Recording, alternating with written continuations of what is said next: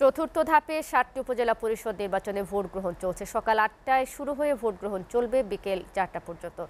আগের মতো এবারও ভোটার উপস্থিতি কম, তবে ঘূর্ণিঝড় রেমালের কারণে তৃতীয় ধাপের স্থগিত করা বাইশটি উপজেলার মধ্যে ভোট গ্রহণ চলছে দুটিতে। বাকি বৃষ্টিতে ভোট আগামী নয় জুন।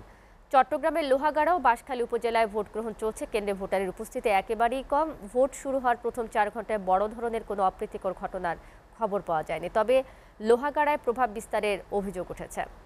নেত্রকোনার কেন্দুয়ার কেন্দ্রে ভোটারদের উপস্থিতি একেবারেই কম। সুষ্ঠু নির্বাচনের লক্ষ্যে প্রতিটি কেন্দ্রে তৎপর আইন শৃঙ্খলা বাহিনী। ইভিএমে ভোট গ্রহণের সময় জামালপুরের সরিষাবাড়ি উপজেলায় ভোটার উপস্থিতি কম। দেখা গেছে, বিপুল সংখ্যক আইন শৃঙ্খলা বাহিনীর সদস্য মোতায়েন রয়েছে। দিনাজপুরের পার্বতীপুর, ফুলবাড়ি ও নবাবগঞ্জ উপজেলা নির্বাচনের ভোট গ্রহণের জন্য নিশ্চিত নিরাপত্তা ব্যবস্থা নেওয়া হয়েছে। যশোরে সদর উপজেলার ভোট যুদ্ধে ষোলো প্রার্থীর ভাগ্য নির্ধারণ হবে। বেলা বাড়ার সাথে সাথে ভোটারদের উপস্থিতি বাড়ছে। ব্রাহ্মণবাড়িয়া সদর, নবীনগর ও বিজয়নগর উপজেলায় শান্তিপূর্ণভাবে ভোট গ্রহণ চলছে, তবে সকাল থেকে ভোটার উপস্থিতি কম থাকলেও বেলা বাড়ার সাথে সাথে ভোটারদের উপস্থিতি বাড়ছে।